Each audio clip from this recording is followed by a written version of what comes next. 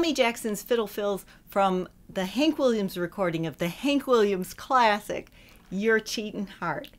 While I'm teaching you these fills, we'll also look into um, how he might have constructed them and how you can make them fit your hand better if they're a little bit of a stretch, and how to transpose them to the key of your singer.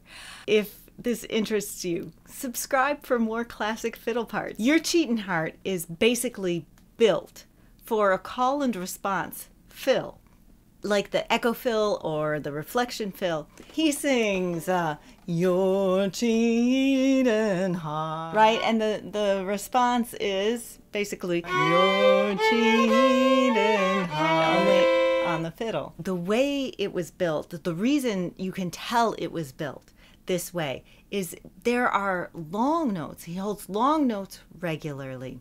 Um, your cheating heart, right, is a long note that's a perfect place for a fill to come in, and those come like clockwork every couple of bars. Also, it starts on the second beat, one, two, three, four, one. Then it lands on the long note, and it's time for the fill. And the fill can basically imitate whatever the vo- voice did because the voice didn't start till the second beat. Does that make sense? So, one, two, three, four, one, two, three, four, one, right? Since since the melody itself didn't start until the second beat, there's time for the melody to land on the next downbeat and then the fill can come in. Just fascinating. And indeed, Tommy Jackson did choose the echo fill for his fills. He uses double strings for all his fills. And I'm, I'm going to teach you, uh, I pulled out a melody line from the fills. So I'll teach you that single line first, and then we'll go back and add the extra notes. I'll play each fill twice once for you to listen and the next time for you to play along. So let's get started. Your cheating heart.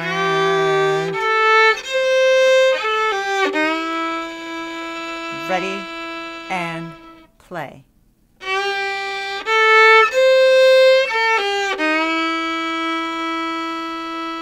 This one is the trickiest one of them all it starts up bow and then a fast down bow and then the rest of the bar up bow before landing on the the last note down bow. I'll show you again.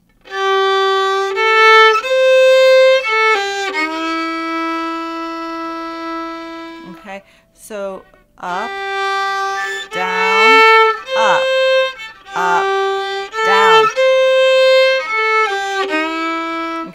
little bit slower.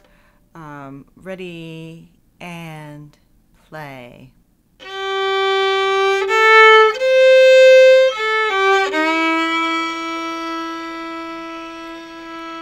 Good, and it's important to use fourth fingers uh, because when he adds in the extra notes, he adds notes uh, on the A string, so you can't use open A and a note on the A string, uh, a finger on the A string. Play, you can't play both of those together at the same time. So um, one more time, uh, ready and play. Four, four. Good, going on. Will make you weep.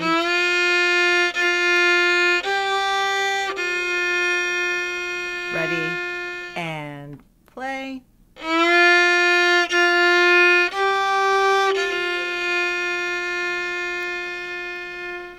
Good. You'll cry and cry.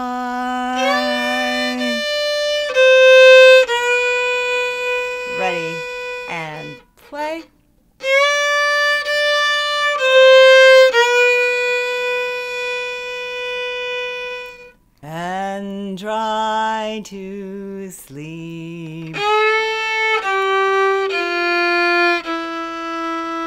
Ready and play.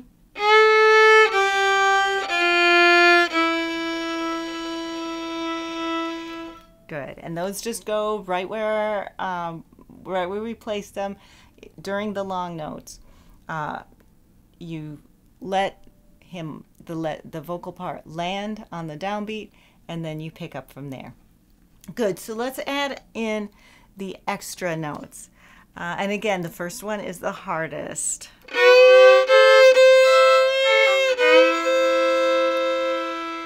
So um, this goes over a C chord. The notes of the C chord are C, E, and G. And Tommy plays a C along with the fill for most of the fill. Uh, right, the C is A, B, C. That note is called C.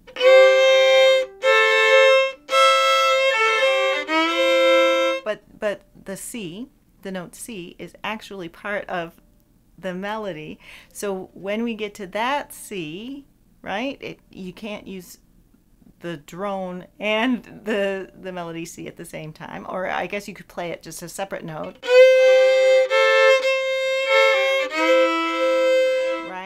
But he chose to go over to the E string, open E, since E is another note in the C chord. Makes sense? Tommy Jackson does basically the same fill for all three verses. Um, sometimes he does a little variation on them. Um, this first fill, sometimes he got, he does this.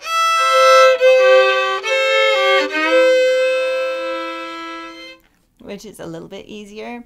Uh, if you want to make it even easier, you can use this C, uh, low C, middle C, instead of this C on the A string. Use the C on the G string. So that will uh, eliminate this stretch between the fourth finger and the second finger. Um, if you do it, right? And you can either go um, or and use either the C on the G string or open G. I kind of prefer the open G, it feels better. Um, so again, that fill.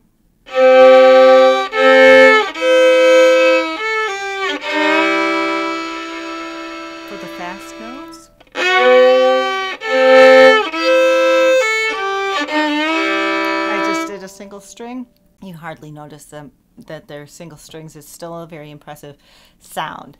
So um, those are just a couple of options for you for this gnarly first fill. All right, uh, next one.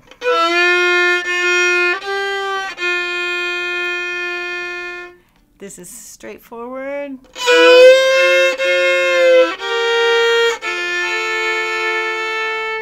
This fifth um, this is over an F chord, and the notes of the F chord are F, A, and C. Of those notes, um, he played F in the melody and harmonized it with the C for the first two notes. He could have used an F, right? And you hear the difference in the sound. He also likes the the fifth because he could slide up into it and slide down out of it, um, which has a very mournful sound.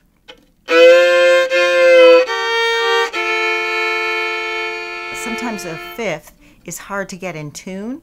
You really need to have your fat fat finger uh, sitting across the strings this way if if it's diagonal at all, then one note is higher than the other, uh, which is not good, uh, especially for a fifth. Fifth should really uh, be pure.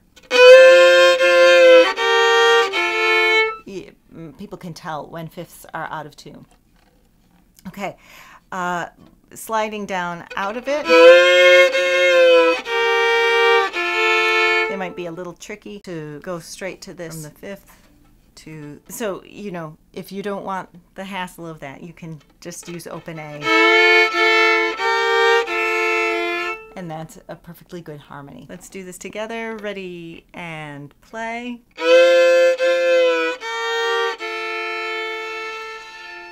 Got it? Okay, the next one.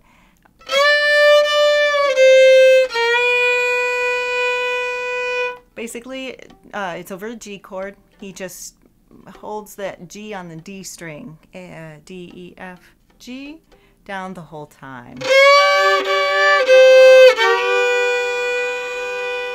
And you'll notice I'm sliding, he slides.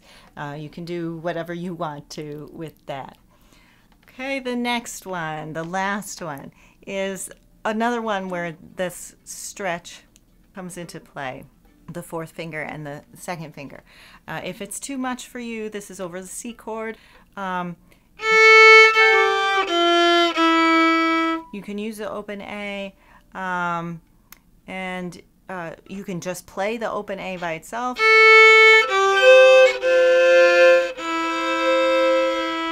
You can do what we did before and just take the C down to the G string. And either play it the whole time. Or um, do, because Tommy puts a little melody with it.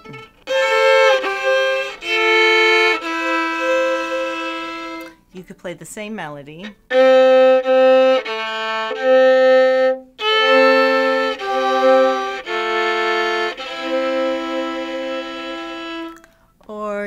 Could do a different melody, uh, which I think is easier.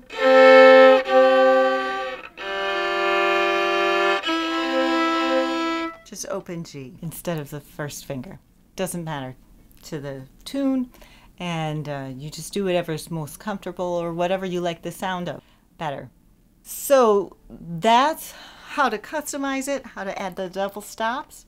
What if you need to play it in a different key? What if your singer sings it in G? Say you're um, accompanying Patsy Cline, and uh, she sing, sings it in G. Well, if it if it really is the difference between C and G, you could just see C and G are right across the string from each other, so you could potentially just do it up a string. But it's a little bit shrill. It doesn't have the same um, mellow overtones as the uh, original Tommy Jackson solo. So uh, you could then take it down an octave. Um, you'll ha you'd have to put different voicing with it.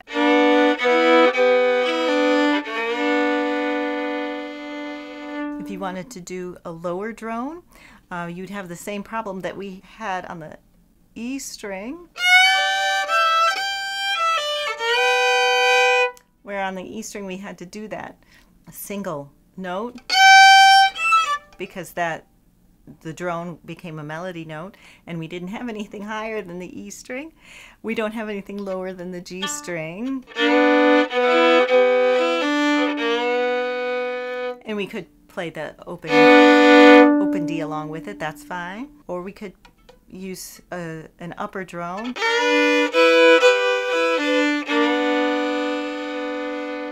Um, of B.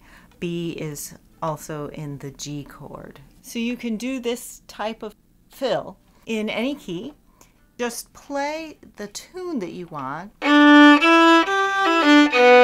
and figure out how to harmonize it for if you want to do double strings. You may not even want to do double strings. So these are um, how he does all the fills uh, at the beginning of each verse.